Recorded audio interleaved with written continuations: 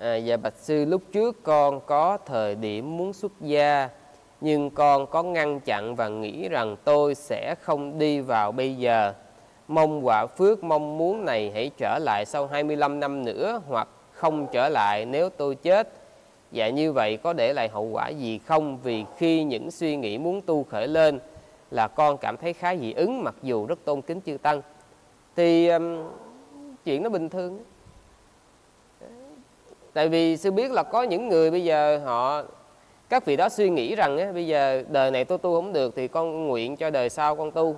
À nhưng mà khi mà đời sau chỗ thì nó giống vậy đó. Mình rơi vô cái tâm trạng là mình không muốn tu nữa. Rốt cuộc là cái cái quả năm nay cái quả của kiếp này mình nguyện là kiếp sau mình không có xài. Thì không xài thì nó hư thối thì mình bỏ thôi chứ không có gì hết trơn. À, còn cái chuyện mà quý vị muốn um, gọi là cái gì ta? À, muốn à, gọi là để dành ấy, thì cũng tùy à, ừ. à ra đóng cái cửa kiến lại. Ừ. cũng tùy à, à là nếu như mà cái cái cái um, cái gì ta? Cái quả đó nó để lâu được á, thì nó sẽ còn. Còn mà cái quả đó là cái kiểu như cái quả mà không có khả năng bảo quản. Ờ, thì tự nhiên là nó sẽ, nó thối, nó hư thôi.